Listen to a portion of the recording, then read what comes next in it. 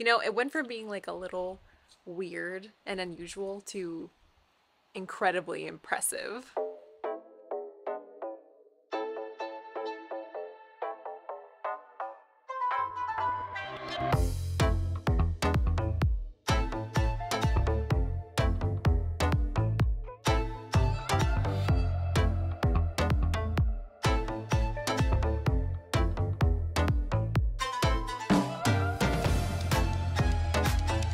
Good morning from the car rental place in Osaka. So, for the last two weeks, we have been hanging out with our friends in Tokyo, which we did not film at all, admittedly, because quite honestly, guys, it's a little oversaturated in the YouTube market. But here's a quick snippet of what we did.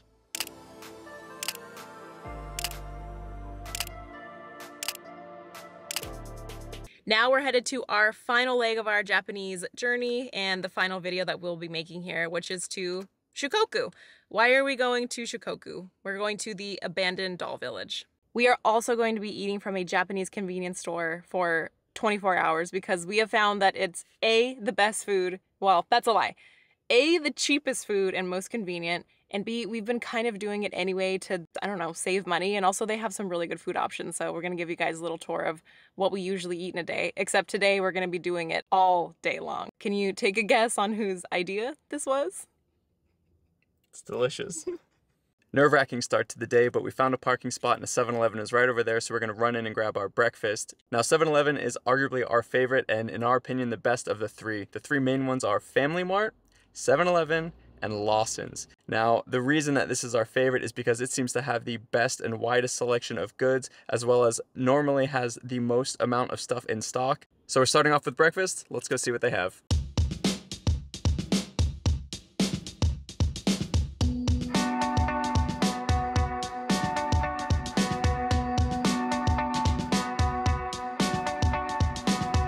Always like to kick off our day with coffee, but the bad thing about getting coffee anywhere in Asia we found is that there's so much added sugar, which is just not our thing. However, there is one good kind of coffee. I really hope they have it. That's what we typically get. This one has no added sugar. It's just a basic latte, and it's what we try to get every day. It's roughly 138 yen, but it can go up to about 160 yen if they warm it up for you, but these are cold.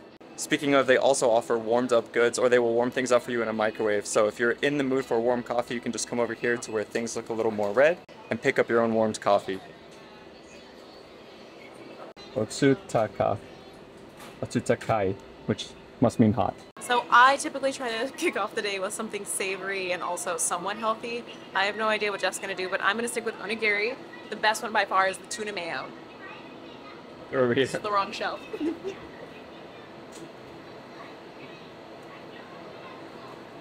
Uh-oh. They don't have it. Disaster. We just talked up how much they like. They always have a selection, but they don't have it. It's because everyone knows they have a selection. That's true. So because they are out of onigiri, um, well, the kind that we like anyway, I will typically go for an egg sandwich, which they're also out of. So this is a very popular 7-Eleven. However, they do have the mix pack. This is like egg and ham, sometimes tuna. It's definitely not uh, what I want for breakfast, but it'll do. Obviously, convenience stores aren't the most healthy meal, so we do try to supplement it with something that does have some sort of vitamin and fiber. And for Brie, that's always fresh fruit. So we're gonna grab some fresh fruit here, which, in my opinion, is some of the best fresh fruit I've actually ever had. And I'm surprised you can get it at this quality level from a convenience store. Mandarin oranges, I think, today. I'm gonna join the train.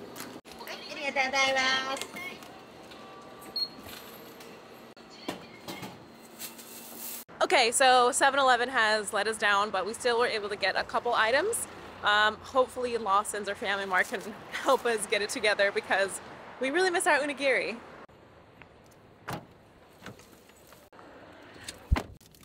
First up, so we're really bummed that they didn't have the egg salad sandwich, which I don't know what Japan does differently, but their egg sandwiches are fantastic. Chef's Kiss, if you come here, you absolutely have to try them. I know you're gonna get caught up in trying to go to a fancy omakase or uh, you know, a ryokan for a kaiseki or something like that, but you have to try their convenience store food. I cannot say that enough.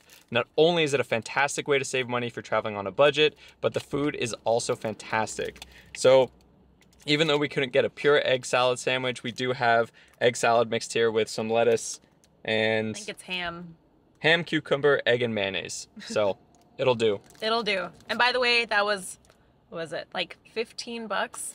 So we supplement one meal a day with 7 Eleven or some other convenience store specifically to save money. And we got one, two, three, four, five, six items today. So it's a win. It's a win.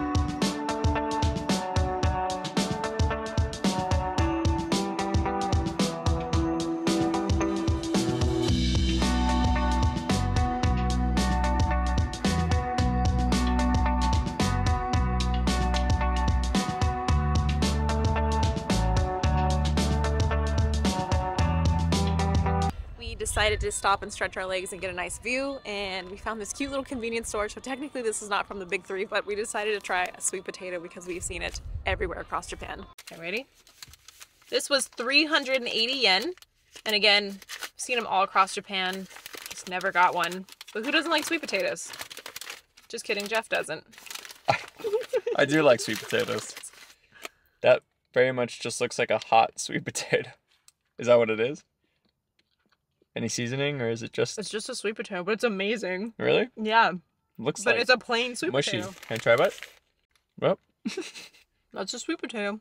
We have about an hour left in our drive before we get to our final destination. It's pretty strange driving here on the island of Shikoku after being in places like Osaka, Kyoto, Tokyo, even up north in Hokkaido because there's no one. But of course, that's the reason for our purpose today to the Doll Village, which is what I think I called it earlier, but we later found out that it's actually called the Scarecrow Village. And just in case anybody out there doesn't know what this is, basically everyone left this small little town on the island of Shikoku and there was one lady left who decided that she was very tired of it so she made a bunch of scarecrows. So there's an entire town comprised of these scarecrows that are filled with like newspaper and hay and they just sit around and it's really creepy. So we're gonna go check it out. So as of right now, the scarecrows outnumber the people that live there about 10 to 1, so there are about 30 residents remaining. Now, she made a scarecrow for everyone that's left the village at this point. She's even started making some more pop culture scarecrows. So like there's one for Donald Trump, Waldo as in Where's Waldo, um, some Japanese pop singers. Um, so she just keeps making them and making them and there's a ton of them now. By the way, I just realized we didn't address Jeff's hair. Um, yes, he has dyed it yellow. It was supposed to be white. I think what he wanted to do got lost in translation a little bit. So say hello to the new Jeff. Or should I say the anime Jeff? I think the biggest issue was that I have really black hair, at least the hair that's not already turned to gray. And we just didn't have the time. After three and a half hours, the guy was like, You gotta get out of my shop.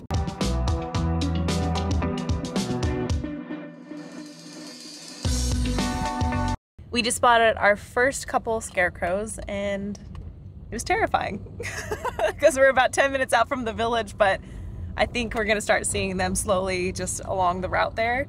Um, but we're almost there and it's probably going to be really creepy. We have arrived. It's a little chilly and it's creepy. So, admittedly, we've already seen a couple tourists, which is very surprising considering this is in the middle of nowhere.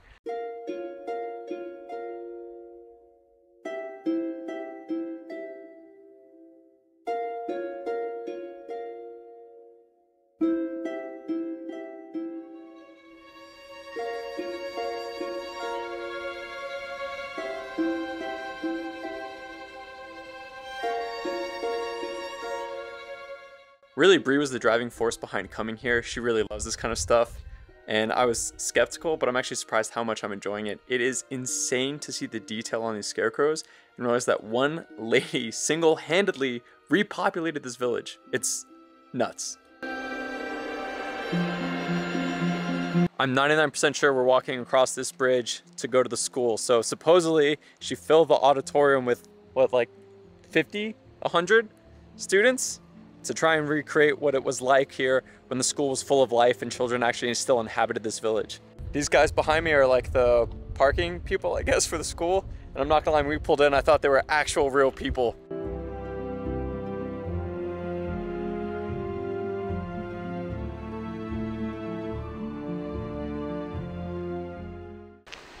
Oh my god. You gotta turn this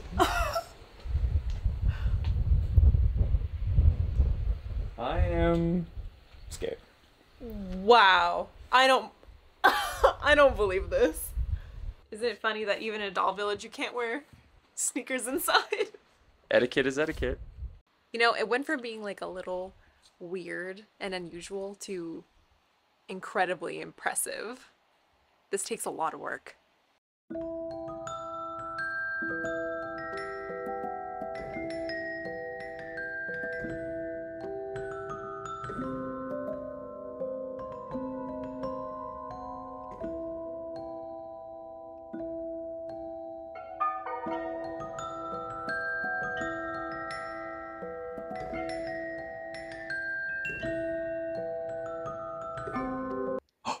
That's James May. James May was here.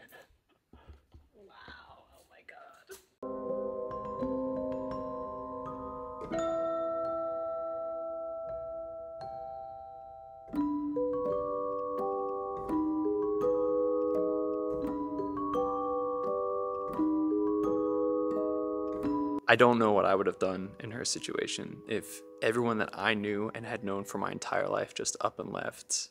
I probably would have gone too. I probably would have moved to a place like Tokyo. But it's really kind of cool to see how she just embraced it almost and made it her own thing and has now put her village back on the map, kind of. I mean, I wouldn't say there's a ton of people, but there was a tour bus here and we did see two other cars pull up. So people are actually coming to visit this place and maybe it's a great way for her to remember this place always and to leave it in the minds of other people, even though it seems that her own people forgot it.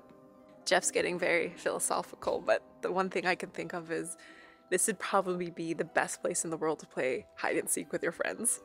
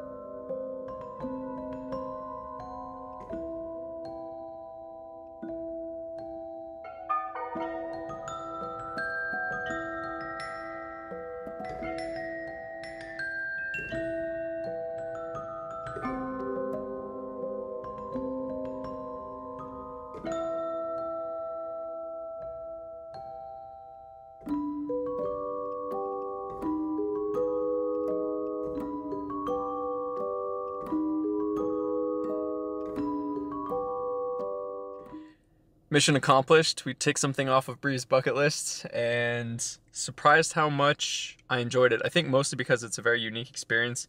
And I think it's something that almost every country is dealing with. You know, the migration of people from the rural areas to the more urban centers where there are jobs, opportunities, education, etc.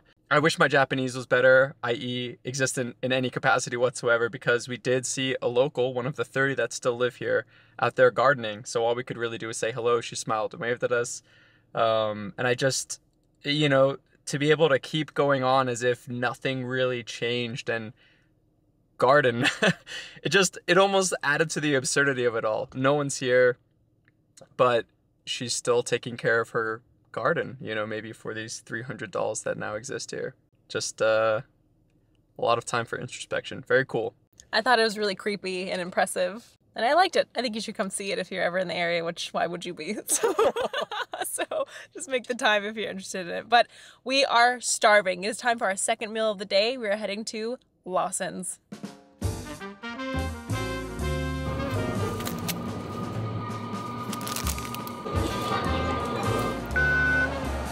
We just stopped at Lawson's, which is number two of the big three, and maybe for me, least favorite. I think Family Chick, sorry, Family Mart might be number two, specifically for their fried chicken called Famichiki.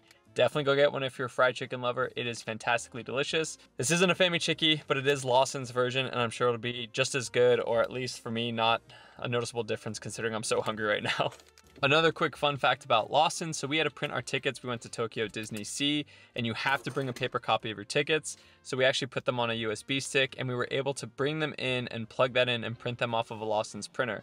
Now, all of the convenience stores do have printer slash copy machines. However, Lawson's is the only one that maintains full functionality when you switch to English.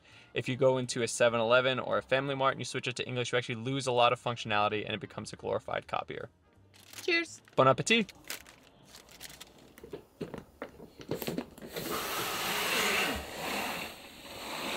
Ohio guys. I'm gozaimasu from the parking lot of our one star hotel here on Shikoku, which was really not bad. Um, you may be asking yourself a couple questions at this moment. Number one, are we wearing the same thing we wore yesterday? Yes. Number Yes. two, have we hit all of the three major convenience stores here in Japan? No. But we are on our way to Family Mart this morning so we can wrap up our food tour. You can call it that.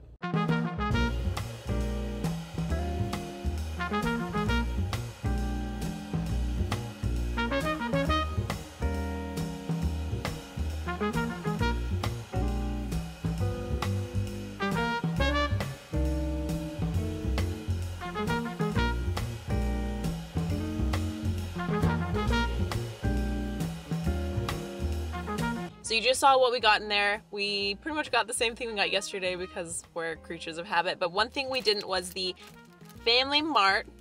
But one thing we didn't was the Family Mart pancakes. These come with maple and margarine, and they are the closest thing we've gotten to American pancakes as of yet on this trip.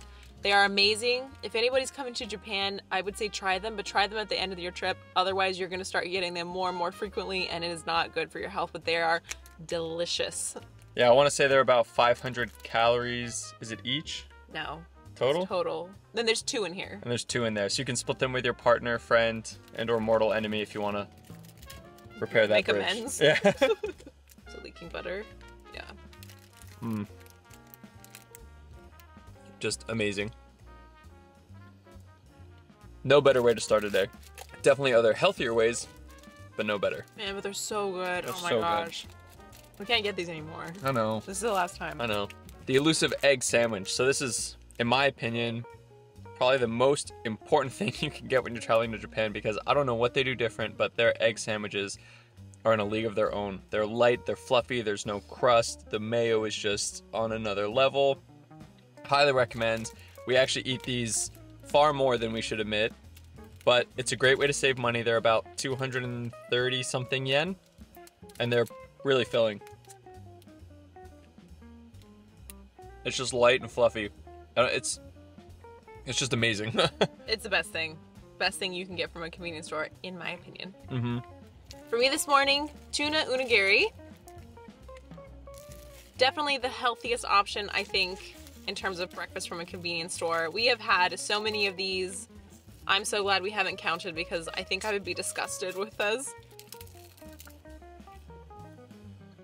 Love these.